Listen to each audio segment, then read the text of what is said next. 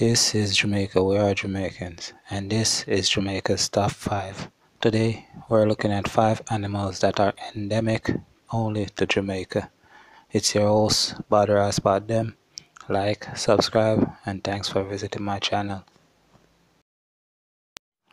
Coming in at number 5, we got Trochilus polytmus, the doctor bird.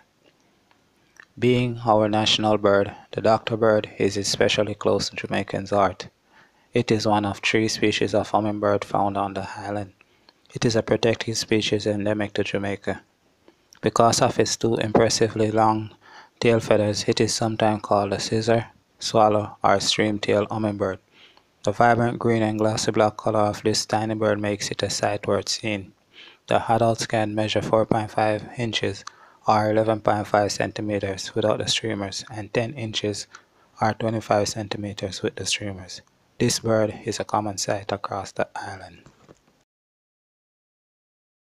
Coming in at number 4, we got Epicrate subflavus, the Jamaican boa. It is capable of reaching 6.5 feet in length, sometimes called a yellow snake or nanka. It has a beautiful pattern black and yellow body with black zigzag crossbar and golden green around the head and along the anterior section of the body.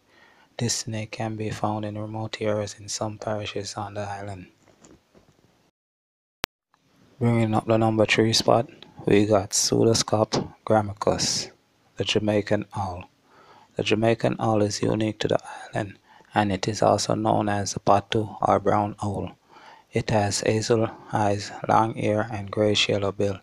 It generally uses lowland open habitat with scattered clumps of trees. It is a nocturnal hunter, which mainly eats large insects, spiders, amphibians, lizards, birds, and rodents.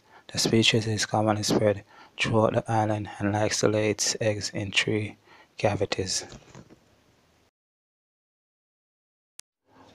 Coming in at number two, we got Geocapromys brownii, or the Jamaican hutia. This is another of our endemic animal. It is commonly called a coney. It is a small, squat rodent which grows up to 18 inches in length and can weigh over 4 pounds. This animal was a popular and abundant food source for the Tainos. At present, it is found only in remote hilly limestone area where natural crevices and tunnels occur. The fact that the animals are nocturnal makes the chance of encountering one very unlikely. The largest known populations are in St. Thomas and Portland. These animals live very long and live in a family group ranging from 2 to 10 and enjoy physical contact with each other. Its diet consists of fruits and bark of different plants. The number of conies have declined due to the introduction of mongoose hunting and loss of habitats. Before we bring up the number one spot, I'd like to say thanks for watching I like who say in Jamaica, enough respect, man. This is Jamaica. We are Jamaicans. Like and subscribe.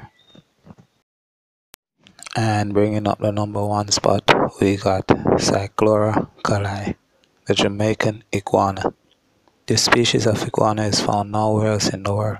It was thought to be extinct until 1990 when a hunter found one alive in the Hellshire Hills in St. Catherine, where a small population was found to still exist eggs being collected, and hatching being raised successfully at the Hope Zoo in Kingston I've gave these reptiles a second chance. They feed mainly on fruits, plants, flowers, and berries. It has scales and spines which run along its back and head and can reach a length of 5 feet. And that was 5 animals found only in Jamaica. This is Jamaica. We are Jamaicans. Thanks for watching. Don't forget to like and subscribe.